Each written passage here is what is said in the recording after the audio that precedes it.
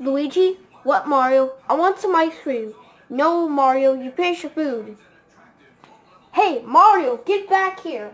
Mario. Mario. You put that... Mario? Better get out of that fridge. Mario? Mario. Hey, Luigi. Mario, you better put that ice cream back right now. I mean it. I am not fooling around.